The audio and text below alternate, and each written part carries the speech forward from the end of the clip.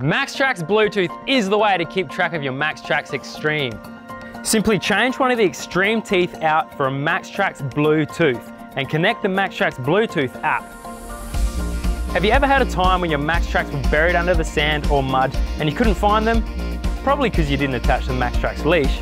But simply use the MAXTRAX Discover on the MAXTRAX Bluetooth app to locate the exact position of the MAXTRAX. Saves digging up meters of beach searching for that one buried MAXTRAX. You can also track down your MAXTRAX XTREMEs that you lent to a mate. Simply ping the MAXTRAX Bluetooth and find it with a map location.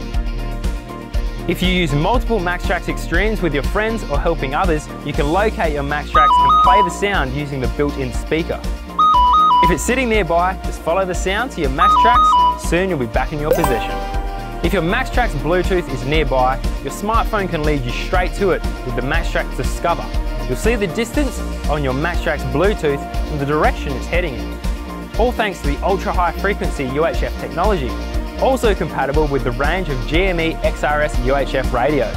Your MAXTRAX Bluetooth sends out a secure Bluetooth signal that can be detected by nearby devices in the worldwide MAXTRAX Army network. So bring yourself and your MAXTRAX into the 21st century with the brand new MAXTRAX Bluetooth.